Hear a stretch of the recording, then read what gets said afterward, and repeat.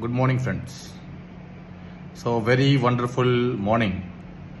I'm here. I'm Dr. Punit Dwivedi, Professor and Group Director, Modern Group of Institutions. I'm going to discuss something which is very important and very relevant with respect to the entrepreneurship in this VUCA world.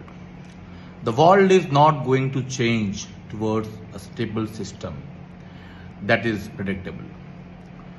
Friends, in order to guarantee positive results in changing circumstances, entrepreneurs must be ready with the right way of thinking. The biggest challenge that today entrepreneurs are facing that is the VUCA world. The entrepreneur need to assess their readiness towards volatility, uncertainty, complexity, and ambiguity in order to survive and grow. The VUCA business world is highly turbulent and unpredictable, but with the right blend of competencies and processes, entrepreneurs are expected to be VUCA ready. The more you know about the situation, your decision would be more accurate. This is a fact. So here are some things, uh, you can see some pointers that entrepreneurs can do uh, to start during the transition.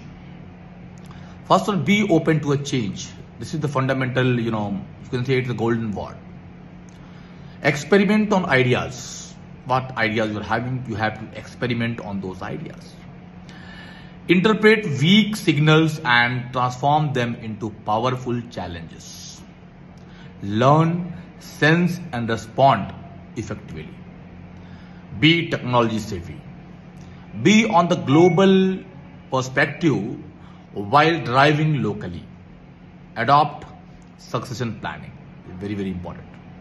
Have long-term and uh, you know sustainable growth strategies. Embed risk management strategies into corporate strategy. Cooperate cooperate and cooperate with the people and system. This is the, these are some golden rules that one have to keep, one entrepreneur have to keep while dealing in this VUCA world.